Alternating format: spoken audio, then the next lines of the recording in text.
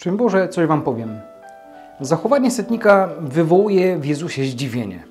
Jego działanie podyktowane jest wiarą i wrażliwością serca. Troszczy się o obcego sobie człowieka, a jednocześnie o tak bliskiego, gdyż jest jego sługą. Podchodzi do Jezusa z wielką pokorą i niczego nie ukrywa. Nie ma w tej prośbie żadnego wymuszenia, czy też y, takiej chęci targowania się z Bogiem. Możemy wyczuć Jego wielki szacunek do swojego sługi. I dlatego słyszę od Jezusa: Przyjdę i uzdrowię go. Po tych słowach następuje kolejne świadectwo braku godności, by sam Syn Boży wszedł pod jego dach. Setnik przez wielu kaznodziejów był stawiany jako wzór ludzkiego stosunku do swoich podwładnych. To dziś jest, y, można powiedzieć, zapomniana sztuka, bo pracownik ma wyrabiać zysk. A jak on się czuje, czy jest mu dobrze w tej pracy, nikogo nie obchodzi.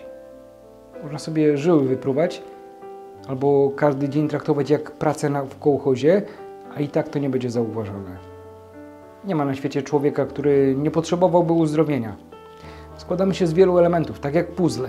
Z myśli, słów, uczuć, wiedzy. I te elementy decydują, kim jesteśmy tu i teraz. I dlatego musimy mieć wszystko pod kontrolą, pilnować, żeby nic złego się z nami nie działo.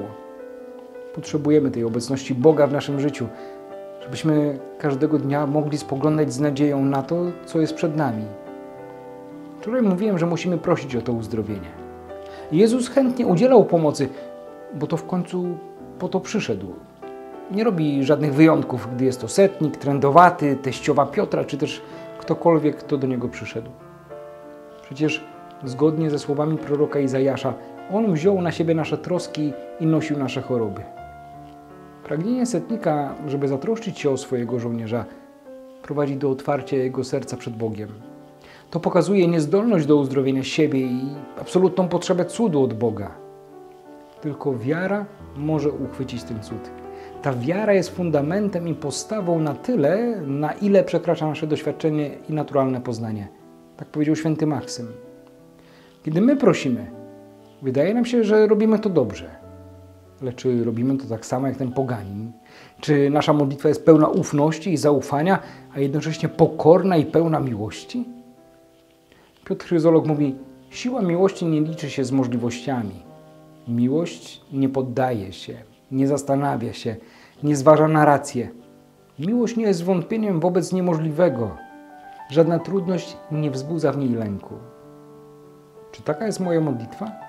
Czy taka jest moja wiara? Spróbuj to sobie ustalić nie na podstawie takich katechizmowych formułek, lecz na podstawie tego, czym żyjesz i jak się starasz nią żyć. Być może więcej w nas wątpliwości niż pewności, więc oddajmy to Panu Bogu. Przeto wiara rodzi się z tego, co się słyszy. Tym zaś, co się słyszy, jest słowo Chrystusa. Podobnie jak w przypadku setnika, Pan Jezus nie odwiedza nas w domu jako człowiek chodzący po ziemi, ale dzięki wierze nasza jedność z Nim staje się głębszą i pozbawiona ziemskich ograniczeń. Jednocześnie ta historia pokazuje nam, że Jezusowi nie przeszkadza nasz brak godności, ale pragnie udzielać nam łaski.